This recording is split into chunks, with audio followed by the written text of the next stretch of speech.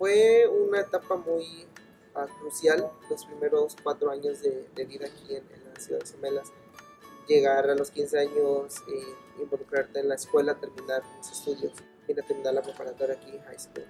Y este, a los 18 años comencé a dar clase de, baile, de danza folclórica, me dediqué simplemente a, seguir en, en, la danza, difundiendo el, el folclore desde los 18 años.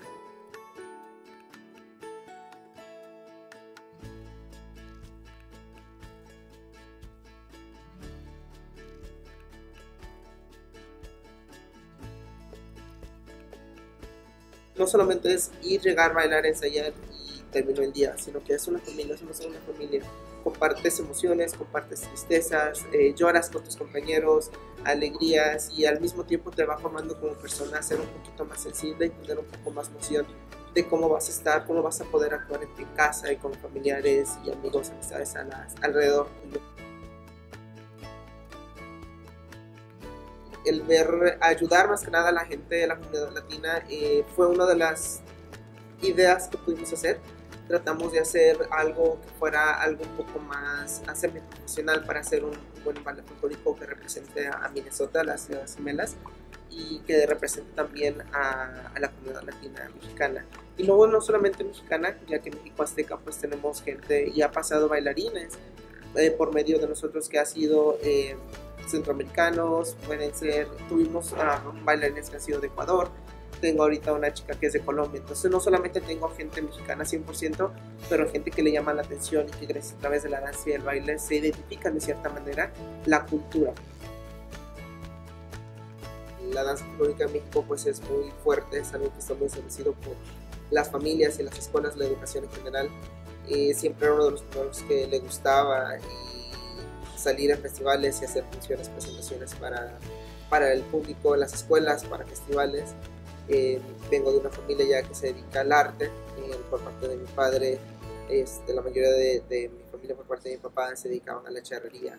Por la familia de mi madre todos eran o bailarines o cantantes, se dedicaban a la música. Entonces ya estaba muy familiarizado con las tradiciones mexicanas y siempre fue algo que me llamó la atención. Eh, la danza en general, no solamente folclórica, pero la danza en general.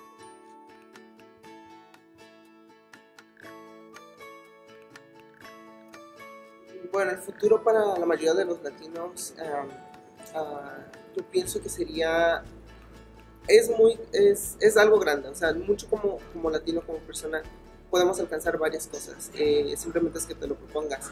Y todo comienza de casa, nuevamente los valores familiares yo pienso que es algo muy importante, los papás tienen que estar muy, muy atentos a lo que el joven o el niño hace en, esto, en estos días, eh, la mayoría de los hispanos o latinos eh, no, no, tomamos en cuenta que los estudios tienen mucho que ver y tratamos de no poner atención en la escuela con, con nuestros niños. Entonces, uno de los errores que yo he visto en la comunidad latina es que los papás no, no nos enfocamos, dejamos que el niño vaya a la escuela y haga sus actividades, pero no nos involucramos en la vida de, de nuestro niño. Entonces, el, los estudios son muy importantes en seguir en adelante y si uno, uno, se, uno, se, uno se propone, si los padres quieren y se involucran con los niños, con los hijos, que continúen sus estudios, que terminen una carrera aunque sea corta, les va a abrir muchas puertas y así cambiar la perspectiva del latino, que solamente nos conformamos o nos, nos basamos en, en, en, cosas muy pequeñas o trabajos que son a lo mejor no, no muy bien pagados, pero pues nos están explotando. Pero también tenemos que demostrar que el latino puede hacer mucho más que eso. Mi nombre es Edgar Galván, un latino en Minnesota.